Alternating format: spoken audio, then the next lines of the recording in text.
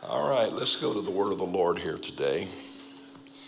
Uh, James, I'm sorry, Proverbs chapter 1. Let me get it right. Proverbs chapter 9, verse number 1. And then we'll go to the book of James chapter 3. Everybody good this morning? Yes. Wide awake? Yes. I got another good night's sleep last night. I think I slept seven hours, which is good for me. So y'all are in trouble here this morning. Amen. Proverbs 9 and 1 Wisdom hath builded her house, she hath hewn out her seven pillars. Everybody said, Amen. amen. Now let's go to the book of James, chapter 3, and verse number 13. Who is a wise man and do with knowledge among you? Let him shew out of a good conversation his works with meekness of wisdom. Now, when it says conversation, I'm not talking about vocabulary, it means your life, your conduct. But if you have bitter envy and strife in your hearts, glory not and, be, and lie not against the truth, this wisdom descendeth not from above, but is earthly. Everybody say earthly. Sensual. Everybody say sensual and devilish. Would you say that? Devilish. Pretty good progression there. For where ending in strife is, there is confusion and every evil work. But the wisdom that is from above is first pure, peaceable, gentle, easily to be entreated, full of mercy, good fruits, without partiality and without hypocrisy. And the fruit of righteousness is sown, peace of them that make peace. Everybody said, Amen. amen. My subject today is the seven pillars of leadership. The seven pillars of leadership. Now, I'm going to do you a favor. I got ahead of the game here today. Can you believe that? Now, if they'll put it up, there you go. Now, there's the full notes of what I'm about to cover right now. Uh, we usually sell those for $99.99. But uh, uh, there it is. Amen. You better do it fast because after this session, it's coming down. Amen. Seven pillars of leadership. Father, we love you. Thank you, Lord, for this opportunity to stand before your people. I'm very privileged and fortunate, God, to be here. I thank you for this meeting. I thank you for the leadership of this meeting. And I ask you to send a special blessing upon it. I ask you this morning to help me to keep my mind clear, to say the things that you want me to say, and to help in the places you want me to help. I need you this morning, God. I want to follow your spirit. And I pray that when we get to the end of this, you will confirm it with signs and you'll confirm it with wonders in the name of Jesus. I take authority in this service right now in Jesus' name. And everybody said, Amen. Amen. God bless you. You could be seated. Amen. I'm not going to go down through a lot of this because you have the notes. You can take them home. I mean, you may not even want to read it. You may just start into it and say, that's a bunch of junk and just toss it and say, forget it. But uh, first of all, I want to establish the fact that uh, James is going to deal with some things. Now, before I get there, I will tell you that most people teach that the seven pillars of wisdom that Proverbs 9 talks about are the seven attributes of God. And I'm not saying that that's not correct, but I, to me, I'm about to go through the seven pillars of wisdom. All right?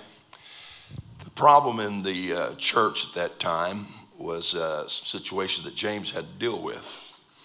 And there was a great divide among those in uh, different levels of society. So in the church, you had the rich, you had the owner of slaves, and then you have those who were less fortunate, I would say, and that were slaves and were owned. And so the problem was is that these masters were treating these, and we're talking about Christians, were treating their servants uh, very poorly.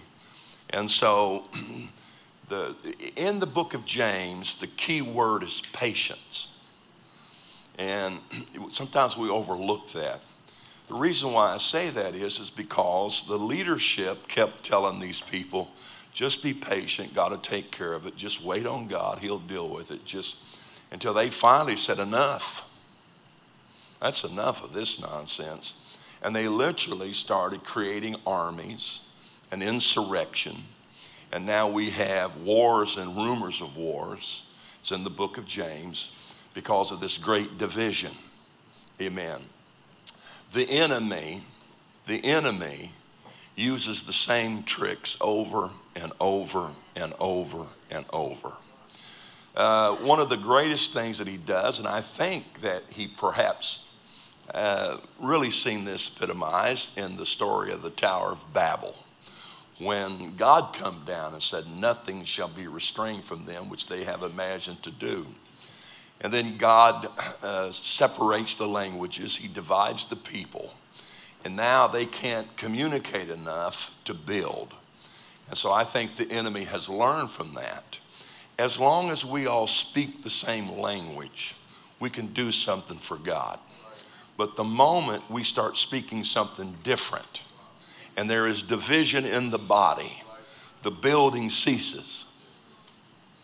Uh, yeah, hopefully, this you'll relate to this. But uh, when you talk about um, we talk about homosexuality, we always are quick to say, "Well, it's an abomination. It's an abomination unto the Lord." Study the Scripture. There's some things that's an abomination unto the Lord. There's some things that are abomination to you, and there's some things that are abomination to others. But this one here says that uh, homosexuality is an abomination unto the Lord. Now, we're quick to preach that, but we're not as quick to preach, He that soweth discord among the brethren is an abomination. One is sowing discord in nature, the other sowing discord in brotherhood, but it all comes from the same root system.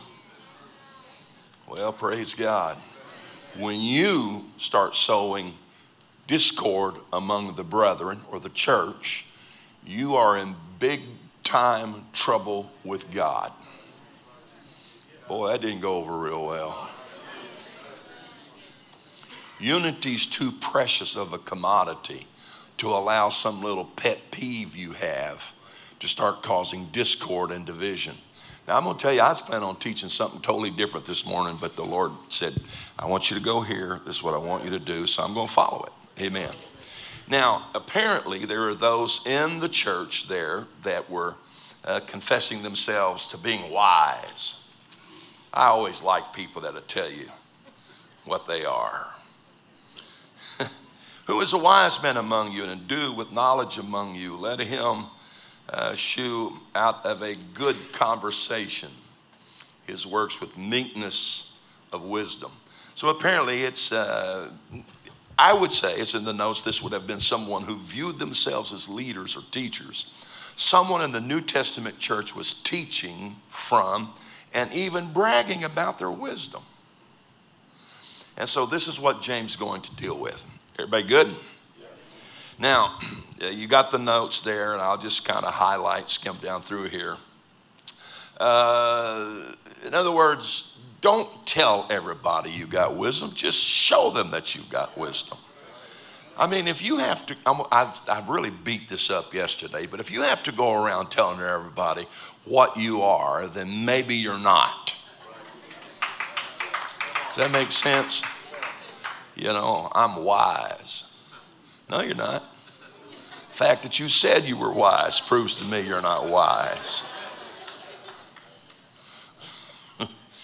Maybe I should stop right there.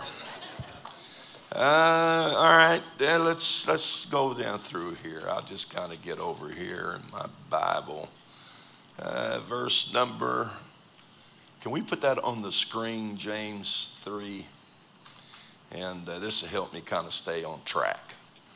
All right, who is a wise man and endued with knowledge among you? Let him shew out of a good conversation his works with meekness of wisdom.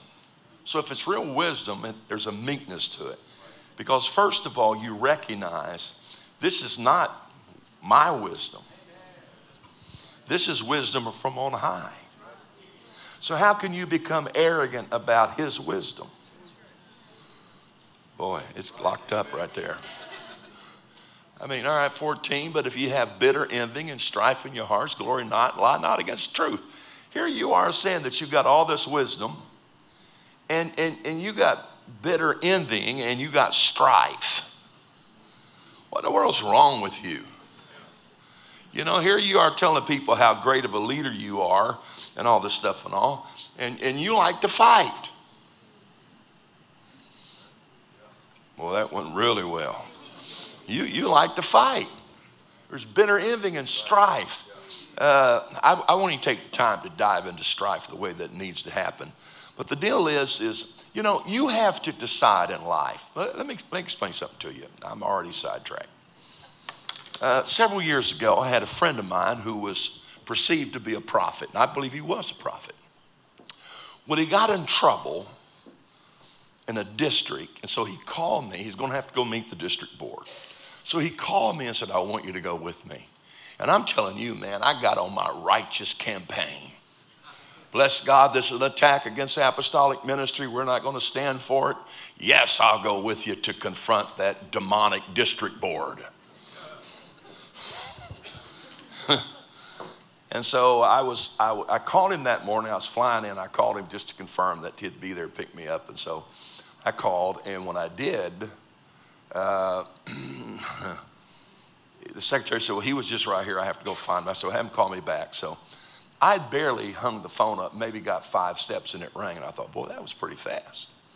And uh, so I uh, answered, expecting it to be him, but it wasn't. There's a lady that uh, she's deceased and gone now, but she played a very significant role in my life. I have no hesitation in calling her a prophetess. Now, if that bugs you, then you better rip out a lot of your Bible. Uh, and so it was her. And uh, she said, uh, Hey, Brother Morgan, Sister Chenault. I said, How are you, Sister Chenault? She said, I'm fine. She said, I've been praying for you since about 5 o'clock this morning. Now, this was mm, 7.30, maybe going toward 8. And I said, oh, okay. She said, the Holy Ghost said, it's not your fight. You better stay out of it.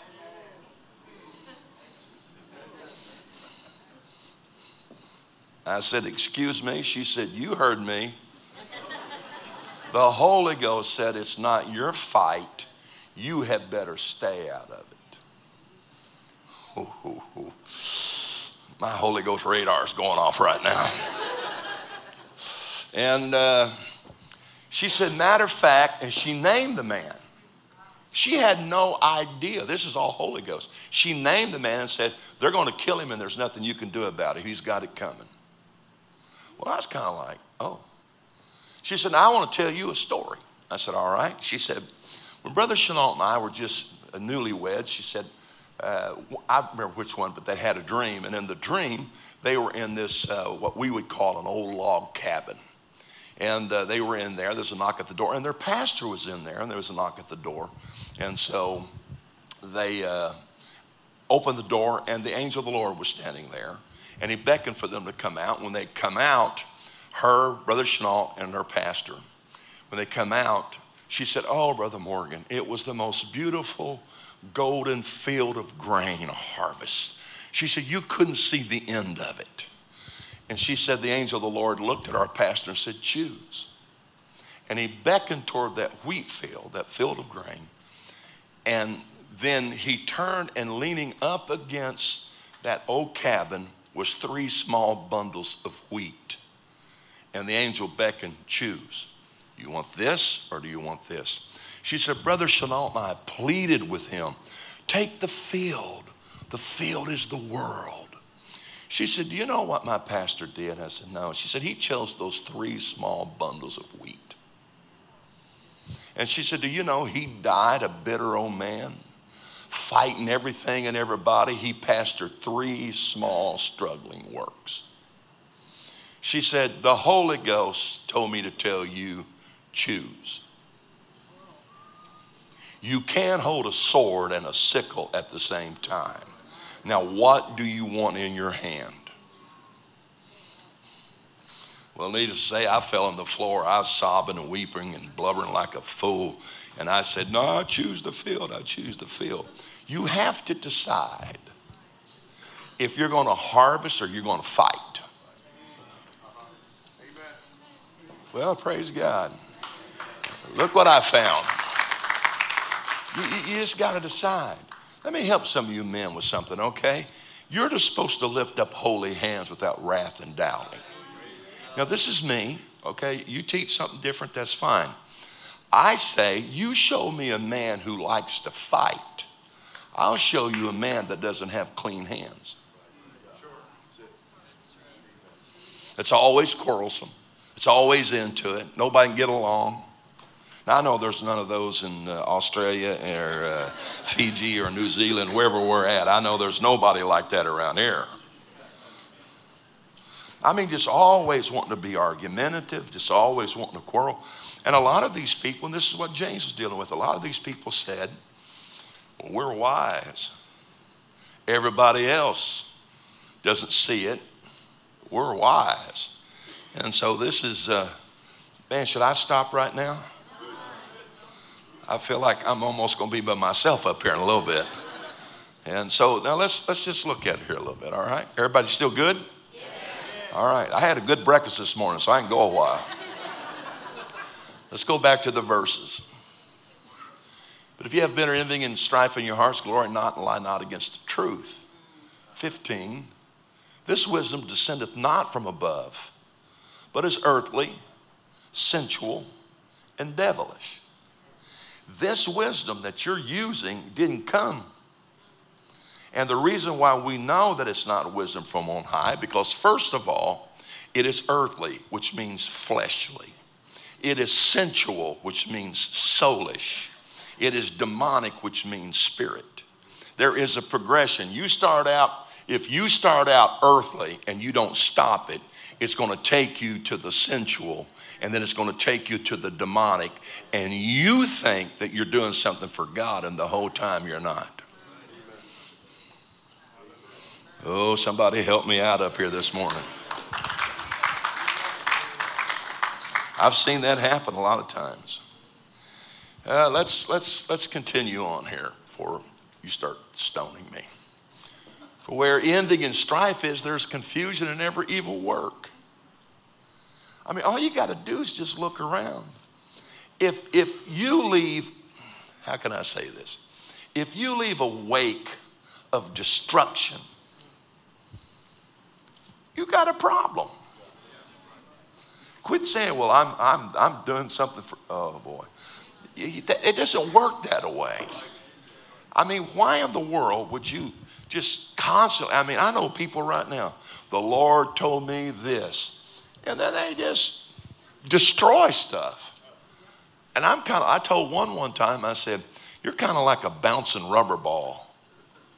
I said, I can't relate to this. God doesn't change. Let me help some of you. God is not schizophrenic. He doesn't say one thing today and then tell you something completely different tomorrow. And why in the world would you say that this is from God? I know that this is from God when it's not from God. It's coming out of your own heart, it's coming out of your own will.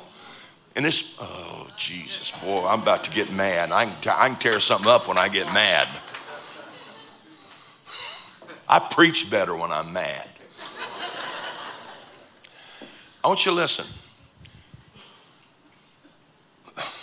Witchcraft is also mentioned as a work of the flesh.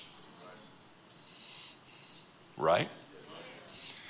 Now, our view of it is it's, you know, black magic, witches with hats, cauldrons. That's witchcraft. That's not true. I know that in the Old Testament says that witchcraft is rebellion, and I would agree with that. And I think that's a little bit of what works of the flesh are its rebellion. But it goes a little further than rebellion. Of course, all of this stems from pride. You get yourself in trouble when you start becoming proud or arrogant about something. Mm.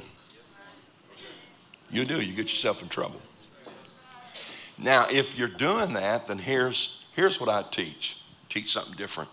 I teach that witchcraft is any means or medium that I use to manipulate, dominate, or intimidate a person or group of people. I think I'm gonna come down here. Yeah. I know people who use this. The Lord told me to tell you. Now, was that really God that told you that, or you just telling them that because you want them to do this? Ooh. You got to be careful when you allow pride to enter into your heart and you think you're the smartest person in the room and that everybody ought to be doing it the way you think it ought to be done. Boy, I need a little help right now. Amen. I, have known people that do that. I mean, they, they're, they're masters at it. They manipulate people, they intimidate people. I've seen people use temper to do it. I mean, the whole family cowers in fear because, oh, no, don't get him mad or don't get her mad. that felt better right there. Don't get her mad. I mean, and, and, and the whole family walks around on tiptoes because they're afraid that once they get upset or angry, I got in trouble one time. I, I mean, Brother Woodward, Mr. Smooth. I love you, man. I, you know, I get in the pulpit like I am right now. I just get talking, and then something just pops, and I just kind of jokingly say it. And, and I, I was at home in Oklahoma, and I was preaching, and I said, Let me tell you something. I said, when she gets mad and storms off and locks herself in that bedroom, I said, let me give you some good advice. Get you a padlock. Lock the door on the outside. Put you some bars over the windows. Leave her in there for three or four days. She'll get hungry enough, she'll want to come out with a changed attitude.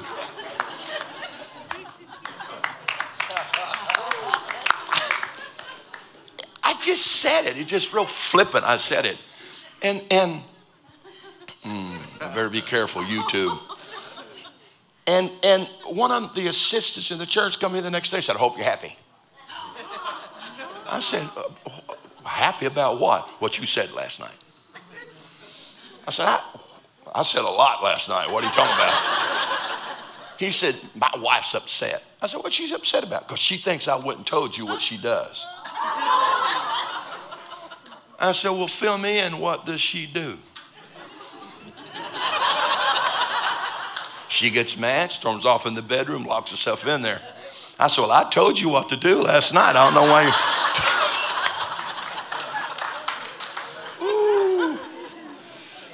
uh, boy, I'm in quicksand over here sinking fast.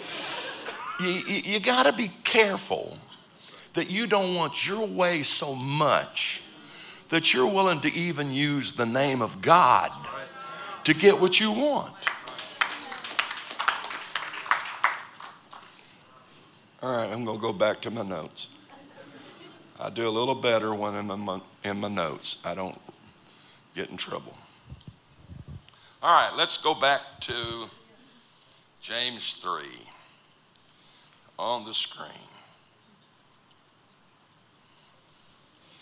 True leadership is then by example, not by statement.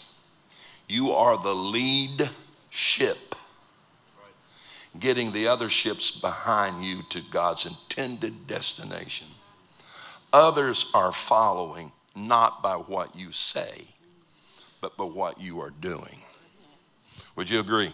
Amen. All right, let's go on down through here. Uh, the enemy can only work through flesh or thinking that is contrary to God's. When God cursed the serpent, he was to eat dust or work through flesh. The crucifying of Jesus was found in this progression of earthly wisdom. Now, let me, let me say something here. It's easy for you to become the enemy of God. Now, what do you mean by that? I'm, I'm going to go a little further, and, and you're going to say, My God, brother, why do you bring him over here? because I'm about to use the word Satan.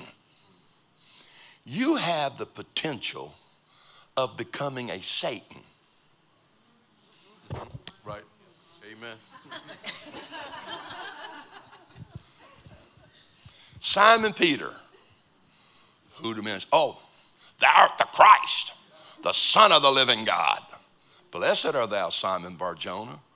Flesh and blood hath not revealed this to you, but my Father which is in heaven. In other words, God has given you revelation, God's given you understanding, God's given you wisdom to know who Jesus really is. Blessed are thou, Simon Barjona. If you want to open your Bibles and make sure I'm telling you the truth, you're welcome to do it. Six verses later, Jesus looks at the same guy and says, Get thee behind me, Satan. oh, poor old Simon Peter. It only took him six verses to fall from blessed to Satan. Why? One moment's divine revelation. The next thing Jesus says, I'm going to go to Jerusalem. I'm going to die. They're going to, you know. And Simon Peter said, No, no, no, no, you're not. Bless God. We're not going to let that happen. I got a sword. That's not going to happen. He opened his mouth out of his own wisdom and spoke directly against what God had just declared to him. And you have to be careful when God's speaking to the church or speaking to you. That you don't open your mouth and pop something off because it doesn't fit your paradigm, it doesn't fit the way you think, it's not coming. Because if it's earthly wisdom you operate by, you're definitely going to have trouble with wisdom from above. And you got to be careful. And this is exactly what the writer was saying is if they would have known, they would have never crucified him. But because of their wisdom, they thought they were doing something great. Everybody still good? All right, let me see where I'm at, if I can make heads or tails out of this. Uh, the crucifying of Jesus found earthly wisdom. All right, let's go to verse number 17. We already covered 17. But the wisdom, here we go. But the wisdom that is from above is first pure, peaceable, gentle, easily to be entreated, full of mercy and good fruits, without partiality and without hypocrisy. Now, first of all, I think right there, he's showing you the seven pillars of wisdom. Now you're going to count. I know some of you, you're smart enough, you're counting right now. One, two, three, four, five, six, seven, eight. You're in false doctrine. Let's look at it, all right? First, what's the first one? Pure. Purity is the nature of God. Therefore, to be pure means to share the character of God. To be pure is to be free from self interest and to serve God single mindedly. It requires sincerity and moral integrity, being free from moral, moral imperfections. In other words, one word is also uses chase.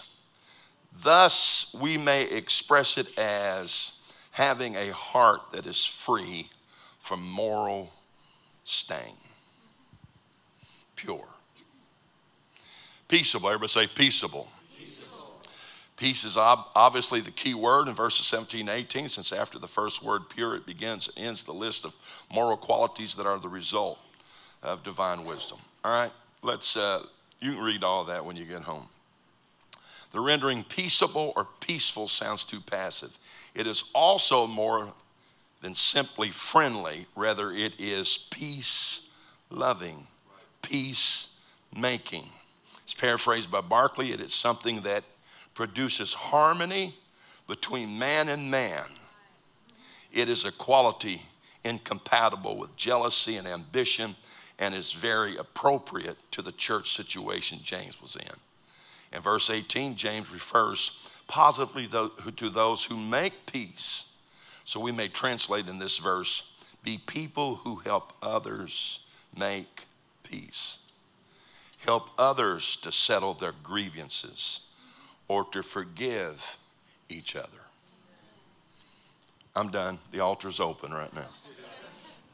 Now think about it. Think about it. Peaceable. Ask yourself the question Do I leave destruction where I go, or do I leave peace where I go? Am I always at odds with everybody, causing division, causing confusion? Or am I one that can help people come together. I prayed for somebody last night and asked God to give them wisdom. We're going to do that at the end of my session. Because I'm just going to tell you, you can try to figure out some of these situations. Uh, Brother Harvey, when I went in as district superintendent in my short political career,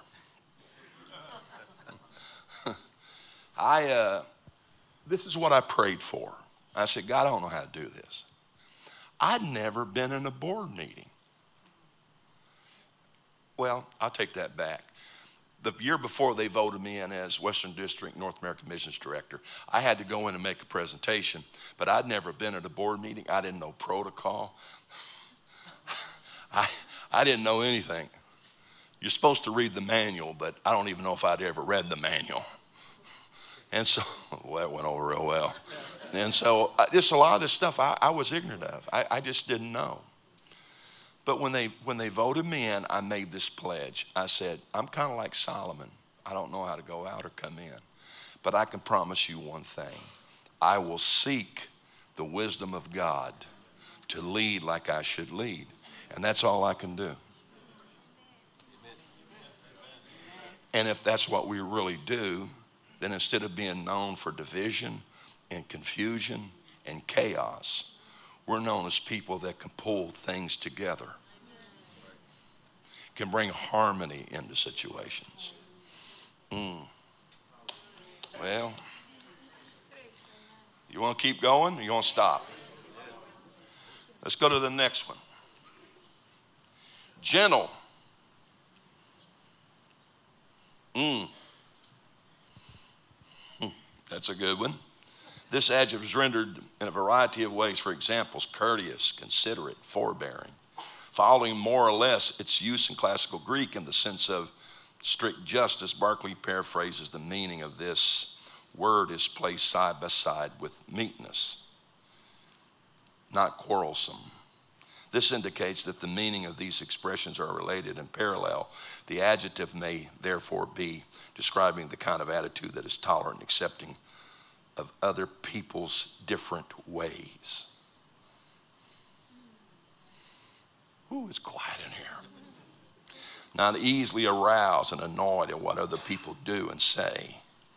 In some languages, the ideal, would, the ideal of being tolerant will be a good way to express gentle.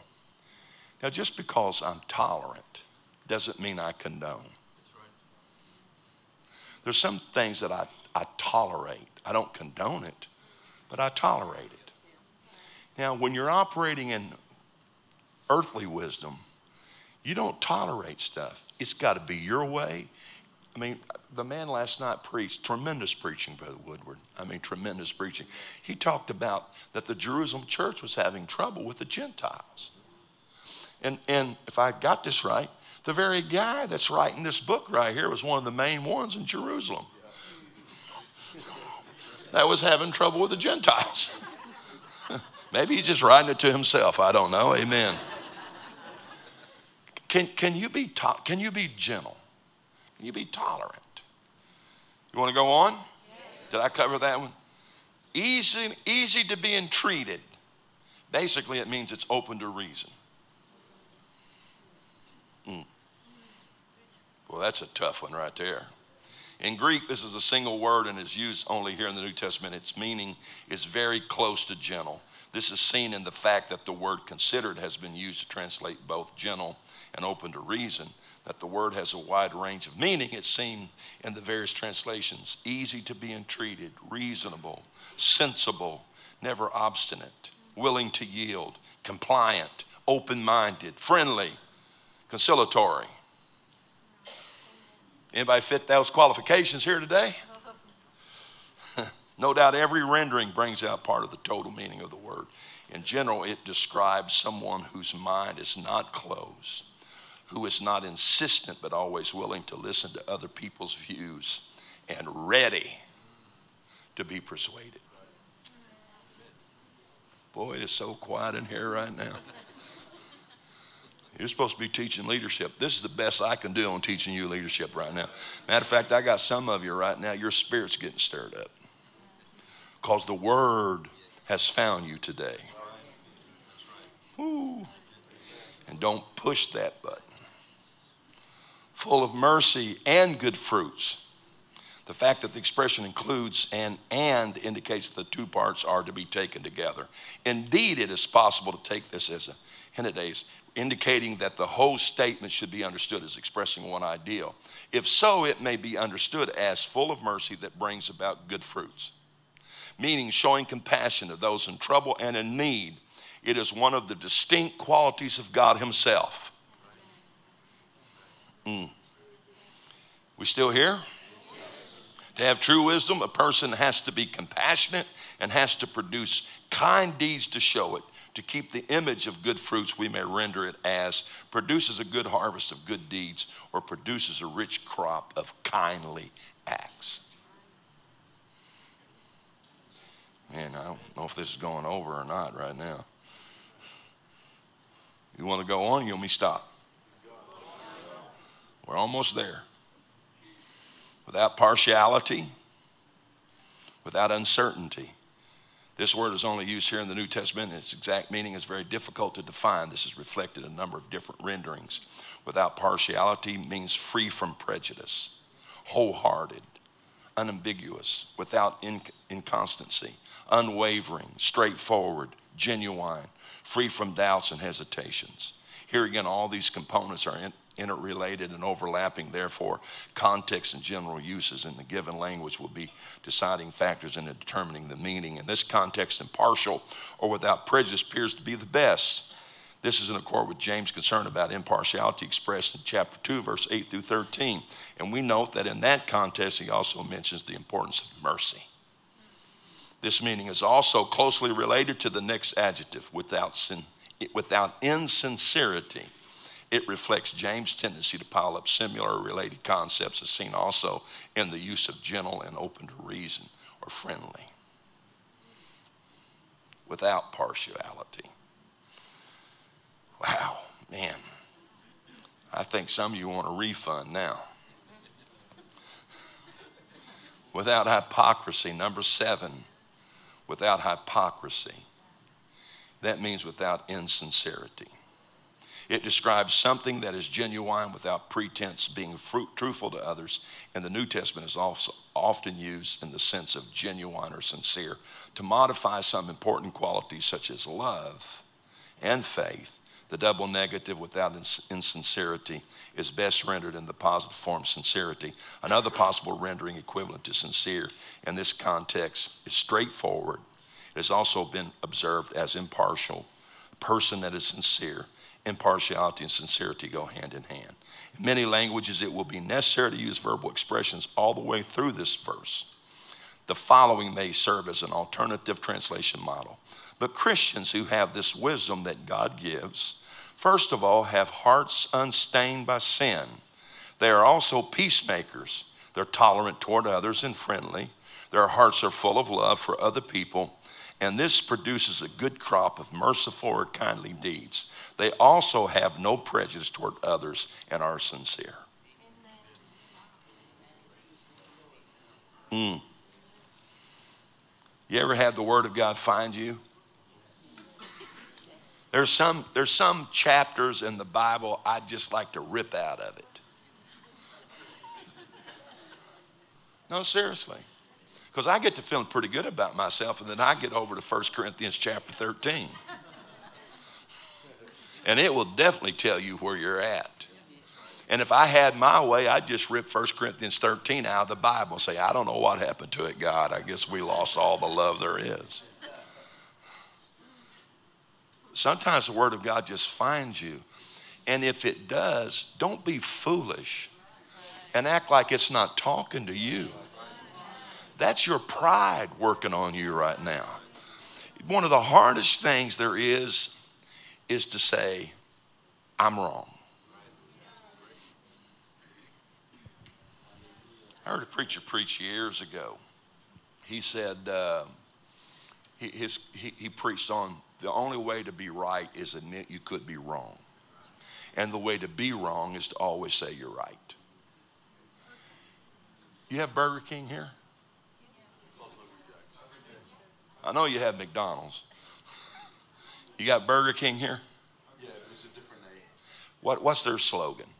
Uh, the No, no, that ain't gonna work then. Y'all mess everything up over here. In the States, Burger King's logo is have it your way. And that's how a lot of people try to operate. Now, I'm talking to leaders here today. I'm not talking just to saints, I'm talking to leaders. You can't always have it your way.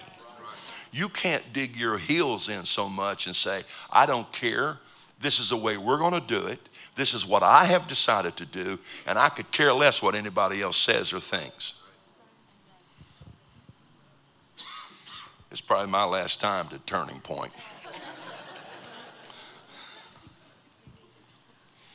Uh, let me find out where I'm at here.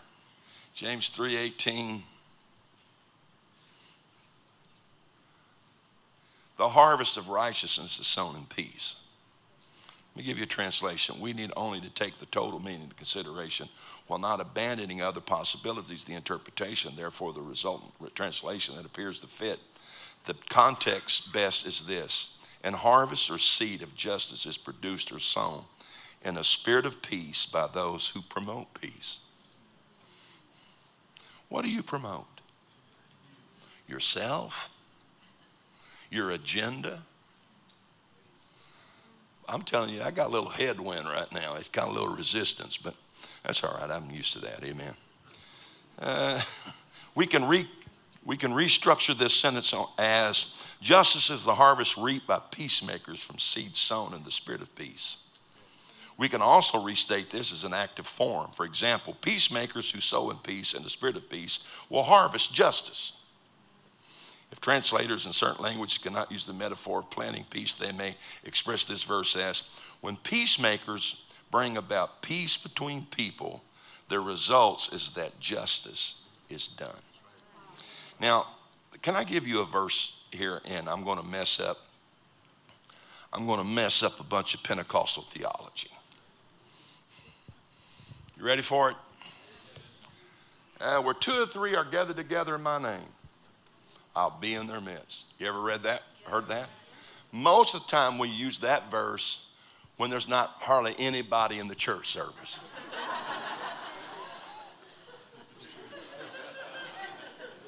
Just a handful of people. We don't need a big crowd. Where two or three are gathered together in His name, He'll be there.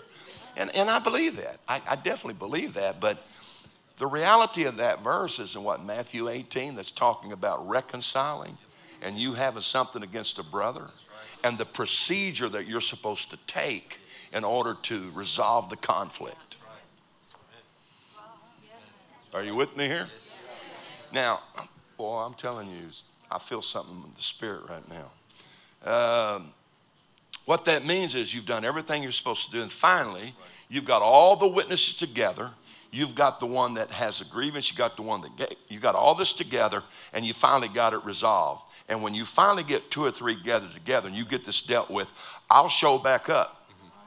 But until you get that done, I'm distant.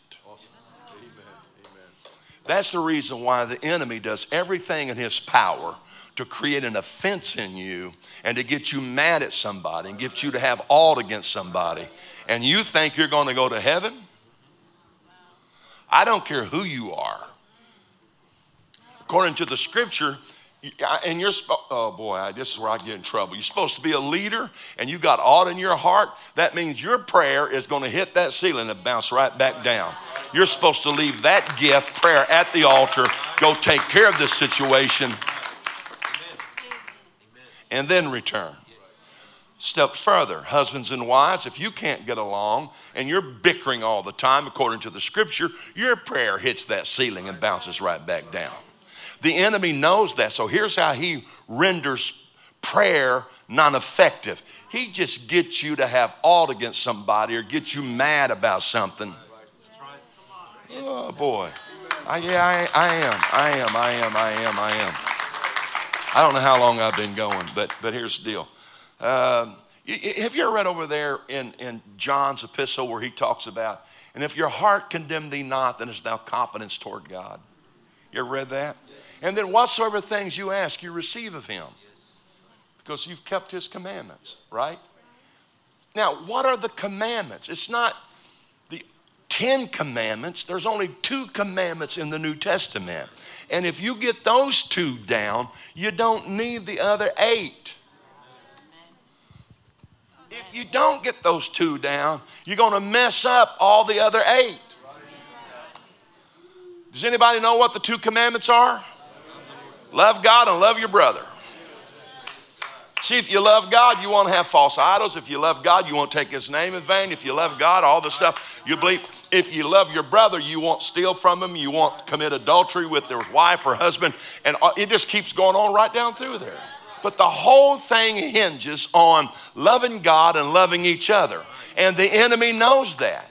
And if your heart condemns you, you know what that really means? If you go to God in prayer and your heart is saying, There's somebody I don't love, I don't care how much you pray.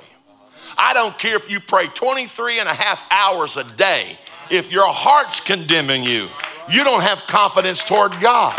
But if you get that out of your heart and get that out of your spirit, then you can ask whatsoever, and God will honor your prayer request.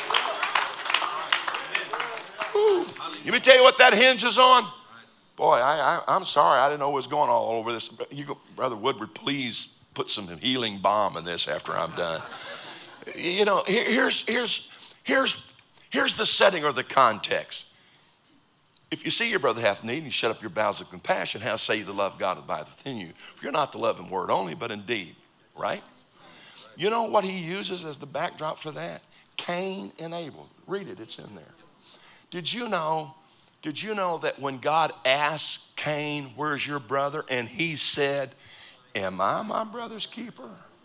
That's exactly what John meant when he said, If you see your brother have need and you shut up your bowels of compassion, how say you the love? You know what you're saying to God? Am I their keeper? They got themselves in this mess. I'm not my brother's keeper. Let me help you. Yes, you are supposed to be your brother's keeper, not the one to destroy him, not the one to cripple him, not the one to criticize and to critique. You are supposed to be your brother's helper. Now, if you really, all right, all right, all right, all right, all right. Now, now here we go. I, I, I believe in signs, wonders, and miracles and all this stuff. I really do. I, I believe in that. I believe in it strongly. I've given my life to preaching this kind of stuff. But the other day, the Lord kind of dealt with me. He said, It was not miracles, signs, and wonders that got Jerusalem's attention. Oh, yeah, Brother Morgan. You know, talks. No, no, no, no. That's not what got Jerusalem's attention. Let me tell you what. See, our problem is we seek power. That's what we seek power. I want more power. What you going to do with it? No, seriously, what are you going to do with all that power? Affirm you? Prove to everybody that you're powerful? The, the hunger for power can come out of your human nature. Boy, oh boy, oh boy. Three temptations of Jesus. Remember that? Three temptations of Jesus. Lust of the eye, I get that. That's the kingdoms and the glory. There it is. You want no lust of the flesh, turn stones into bread. But the pride of life, that's the pride of life would be related in that in the deal is there's there's three categories, right? Lust of the eye, the lust of the face, the pride of life. So how in the world is the pride of life got anything to do with asking Jesus to jump? I'll tell you why. Because the devil was tempting him to use, use God's power to prove to him, the devil, you're who you say you are. And when you want the power of God to operate in your life as an affirmation to your enemies and to your brethren that you are really somebody, that's out of the pride of life. Why do you want miracles? Why do you want miracles? Now, I'm, I'm messing this whole thing up right now. Here's the deal The miraculous in the end time is not going to come from faith. And if you think, bless God, if we just call fire down from heaven, that proves everything. Seriously? The enemy in the end time, the Antichrist and his prophet, going to call fire down from heaven. So, what in the world? What, what is the key to all this? Number one, I don't need the power of God to affirm me. That's, that's coming out of pride. But let me tell you what the church needs a fresh baptism of it's the love of God. It's loving each other, loving one another, loving Him. If you don't love a brother, don't say you love God. I didn't say it, John said it. He said, You're a liar, you're in darkness, and the truth is not in you. Well, you just don't know what they did. Well, what did you do to Jesus? Oh, Jesus, help me, Lord. I didn't plan for this to go this way. You, you know, I, I, know we teach and preach all the time. Once you are forgiven for your sins, God buries it in the sea of forgetfulness, never to bring it back up again. That's not really true.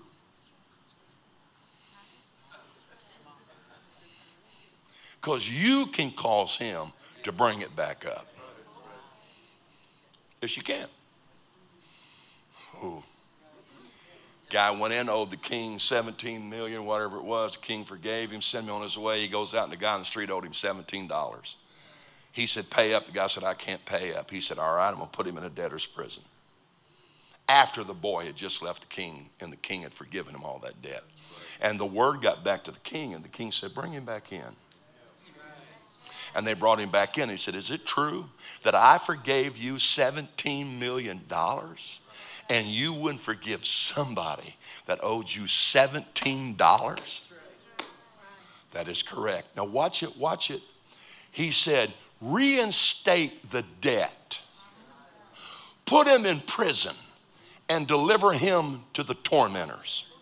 I want you to listen. The moment that you choose not to forgive, things are reinstated to you, and you end up in a spiritual prison and you are tormented.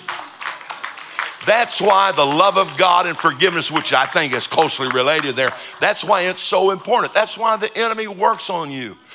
Let, let me help you. How else does he really help you with love without sending some really stupid people in your life? Maybe you're not supposed to use that word here. Here's the best one I could think of for the moment.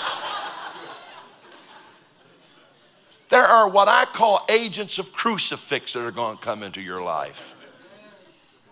I, I, I did this one time. Now, I, I, wasn't, I wasn't going to kill myself, but I, that's the first original lapel mic right there. I, I, went, I went outside in the garage and I got a hammer and nail, and I, I could reach over, well, then I could. I could reach over and I could drive my feet to the, nail my feet to the cross. And then I could hold the nail over here in my hand and I could reach over and I could smack it in. I didn't, I'm just testing it. Now, the problem is, I got a hand over here. How do I put a nail in it? So God says, in order for you to be crucified, I'm going to have to send people into your life to help you.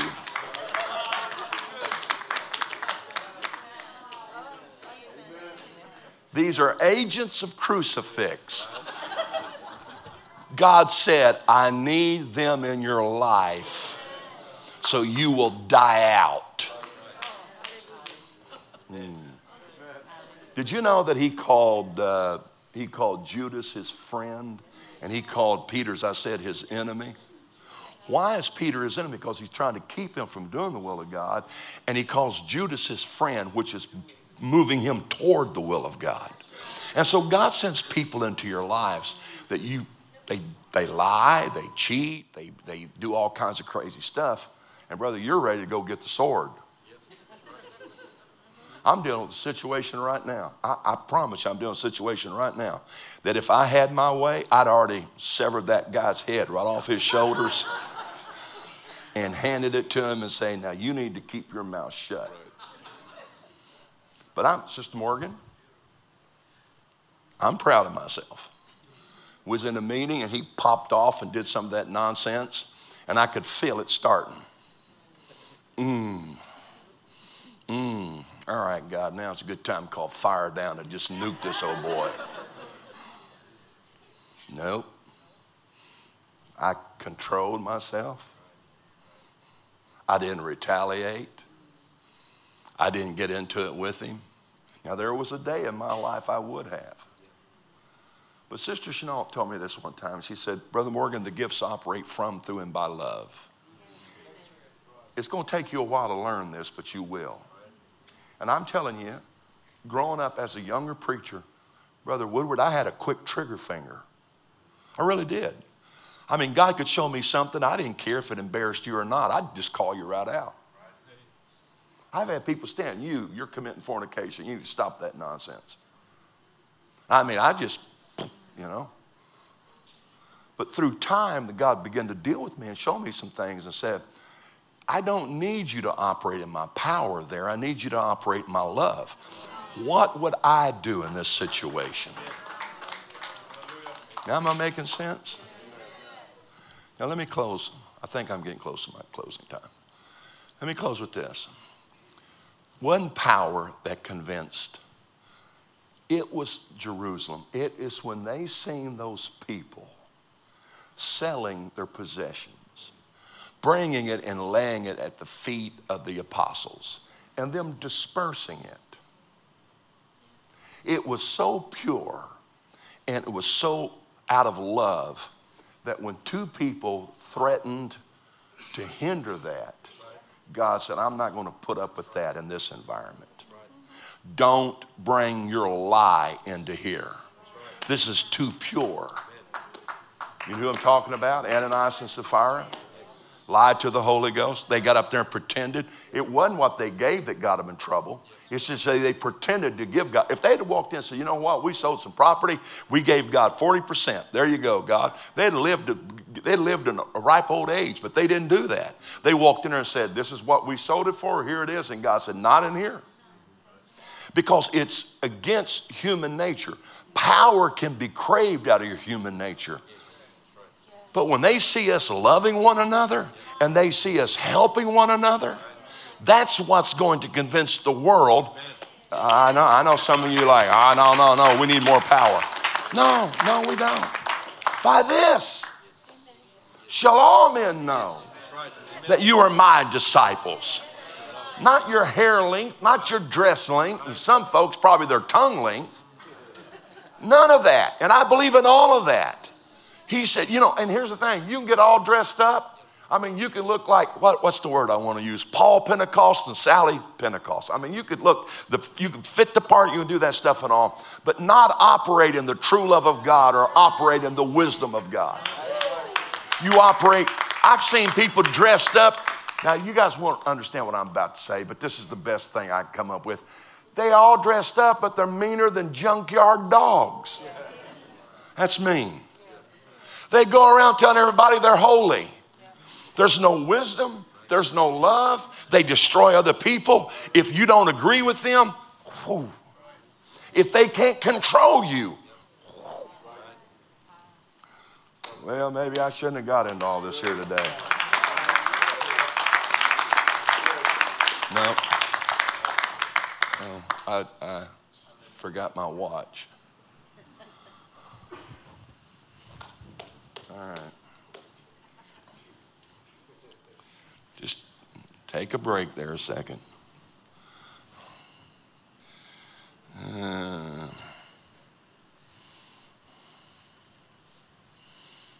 oh.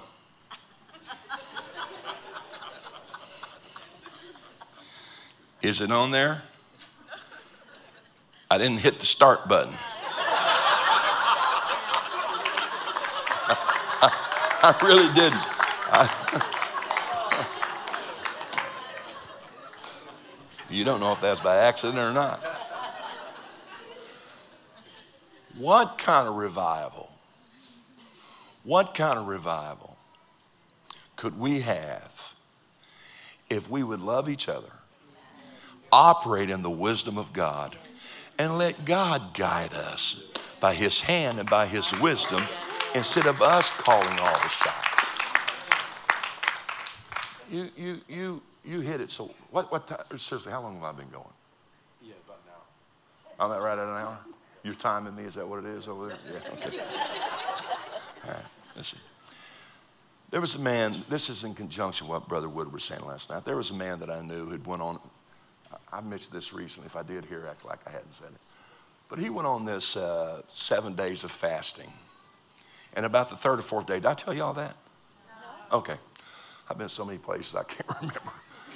And about the third or fourth day, the, uh, he said, it was seven day fast. He's in the building. He said, Brother Morgan, God gave me a vision. He said, I'm not a man given to vision, but God gave me a vision. And he said, in that vision, there was a, a, a field of grain, just golden wheat grain. And he said there was a man out there with a little riding lawnmower. And said he was mowing. And said, there was a man that appeared to me. He said, I assumed to be an angel of the Lord. And he said, you know who that man is? He said, No, who is it? He said, That's you. And that's how much grain you're harvesting. But if you'll come with me, I will show you God's intent for the end time. He said, Brother Morgan, we walked over. There's this massive building. And we stepped in it, and he said there was a combine. How would I explain combine here? Harvester. Harvester. Now, the way it works in America is it's not just one single blade, it's several blades. It's not just a 42 inch mower, it's several feet across the head of it. He said, I walked in and I seen this. He said, I, I can't tell you how massive it was. I started to use the word huge, but it sounded like a Donald Trump word, so I'm not going to do that. Amen. and he said, I, I, he said, this angel said, climb up in the seat. He said, so I climbed up in the seat. And he said, when I did, he said, uh, the angel of the Lord said, what do you notice? He said, Brother Morgan, I got to looking around. And I, I seen that this thing didn't have a steering wheel. And he said, I told the angel, doesn't have a steering wheel. And the angel of the Lord said, That's correct. Because this end time harvest can only be directed by the Holy Ghost. What would happen? See, we all got our little riding lawnmowers wherever we're from, but what would happen if we all would come together to create a combine?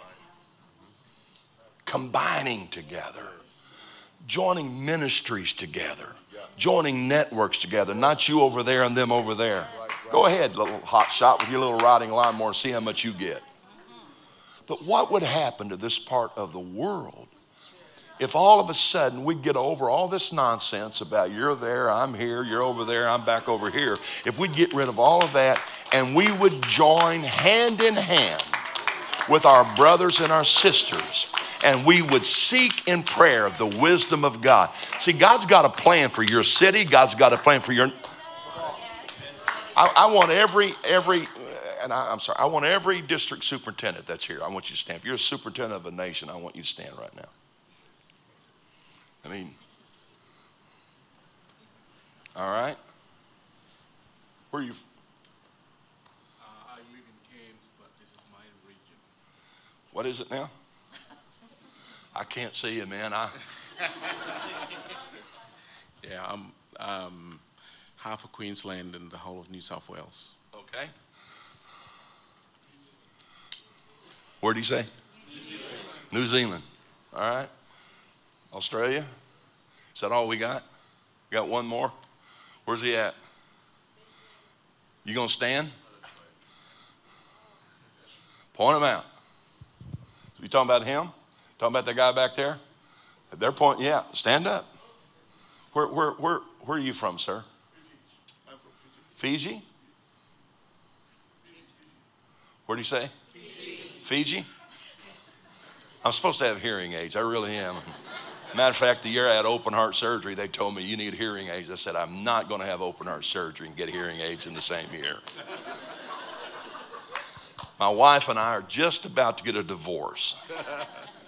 She said, I get so tired of repeating myself. For the love of God, would you get those hearing aids? What would happen? Here's the thing the wisdom of God will come to you if you seek it. If any man lack wisdom, let him ask of the Lord, which upbraideth not, but giveth to all men liberally. If we would quit trying to do it our way, and we would seek God and say, God, what is your plan for the harvest in Australia? What is your plan for the harvest in Fiji. Fiji? Fiji? I mean, all these countries that are represented here.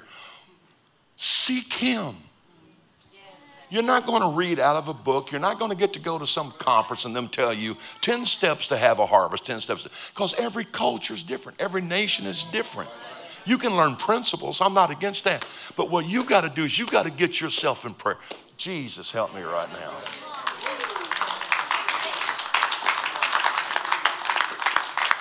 Brother Woodward, I'm not trying to infringe on your time. I'm really not. Years ago, if you guys remain standing, years ago, uh, a, a, lady that I have a lot of respect for had a vision. In the vision, I know I talk a lot about visions, but God does speak in dreams and visions. So that's why you need to slow down and listen or go to sleep. Personally, He speaks to me in dreams. That's why I try to sleep a lot. I want to give Him plenty of time to speak to me. But in it, she's seen a table Boy, I feel the Holy Ghost. She seen a table, and she said, Brother Morgan, at that table was the Antichrist, and like his cabinet, and they long table. And she said, and sitting across from them, she said, there were some empty chairs on this side. She said, sitting across from them was some apostolic preachers, and she started naming some of them, which I want. And she said the preachers were perplexed, frustrated, confused. The Antichrist in them was very confident. And she said, all of a sudden, I seen the hand of God come out of the heavens. And said he took some papers and stretched across in front of the preachers. And she said, God allowed me to see it. It was a military strategy. And she said, when those men of God got to reading that, she said, all of a sudden, the enemy starts becoming perplexed. And the men of God started becoming confident in faith. Now, I, am I'm, I'm not going to go into this, but thou preparest a table before me in the presence of mine enemies. That's really what that's talking about. Anytime two opposing sides are going to go to battle, they have to come sit down and talk about the terms of engagement. That's what the psalmist was talking about.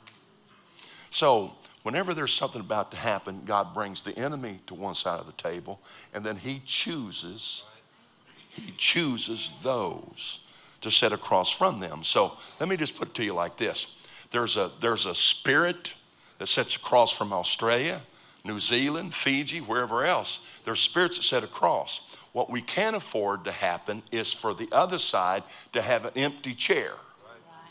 Because if we will just sit in our place find our chair of authority, operate in the authority of God, and operate in the wisdom of God, God will give a divine strategy. Mm. I said, God will give a divine strategy for every nation, every community. Now, if you're a local pastor, it fits for you. Just go seek God. Just, just sit down next to you, across from you, and tell the enemy, listen, you may think you've got me outnumbered and you have me outmaneuvered, but my God is going to give me a plan. My God is going to give me the weapons that I need. My God is going to give me the wisdom that I need to combat you and to fight you. And think what happens if all of a sudden these guys are start getting together, and, and I think you are. I'm not, but they all start getting together and joining together. One can put a thousand, two, ten thousand, three, a hundred thousand. Let me give you a number. If you do that math, by the time you get to seven, you have a number that's larger than the world's population. What would happen in the end time if seven men of faith and wisdom would combine together and join together? What would happen in this region of the world if seven apostolic leaders got together, they got rid of their prejudice, they got rid of their bias, they got rid of their ideals, and they agreed together that God is going to give us a strategy. I ask today that the wisdom of God would flow into this service right now. All right, leaders, come on up here. Just come up here. I know it's what is your tea break? All right, I'm messing your tea break up. Come on up here. All you guys that were standing, come on up here. Come up here. Would you come up here and join together? I assume all y'all like each other. If you don't, it's not a good place for you to be standing. Amen. All right, come on. Combine. It's a combine. Everyone affects the other. It's a combine. Am I making sense? Now they're going to pray for each other and they're going to pray for the wisdom of God to come to them in their nations that they represent and also in this region that they represent, this part of the world they represent. Now, here's what else I need right now. If you're a pastor or a leader, I want you to come up. Don't press them. I just want you to come up and fill all the way across the front up here. And I want you, you're going to join together in prayer also. Come on. Pastor, leaders, come on. Come on. Come on. I think this is called turning point, is it not? I think right here is where God turns some things. He turns it in the spirit. You came one way, you're going to leave a different way. You came with one ideology, you're going to leave with something else. It's not because of what the preacher said, it's because of what the Holy Ghost said to you. I personally believe that if these men, and I believe they are, are sincere, that within just a few seconds' time, that God will speak directly to every one of them and speak his wisdom to them, give them a word that they need. Are y'all with me here right now? I believe every one of you standing up here, I believe that God will do that for you right now where you're standing up here. If you'll just ask Him, Lord, according to your word, if any man lack wisdom, and God, I need a boatload of wisdom right now on my situation, my home, my family, my church, those that I'm leading. I need the wisdom. Give me the word. That, come on, let's pray right now. Get join together. I, I want you to join together, and I want you to pray right now. Something's about to happen in the Holy Ghost. Don't let any spirit into this body that would cause a cancer to form or cause division to happen. Woo!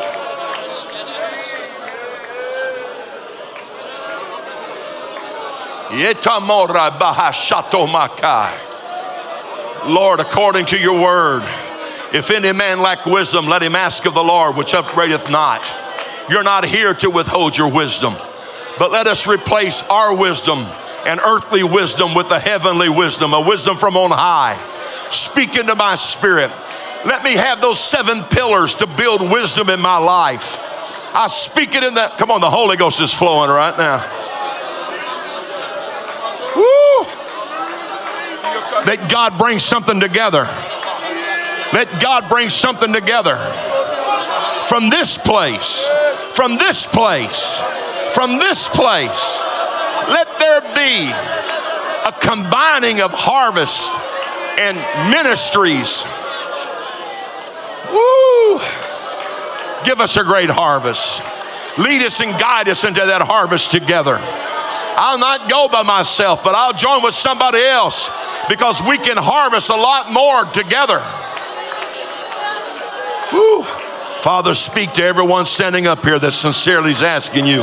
Speak wisdom to them right now. Impart wisdom to them right now.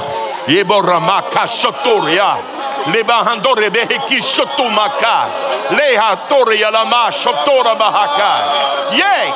Ikotori alama shotora makai. Libaro robo hoketala la shotora makai. Leda motore la mahako shatara maha. Hallelujah, hallelujah. Peacemaker. The word to use peacemaker. Jesus' name. Lemando roboko shatana mahakai. Yes. Yes. Yes.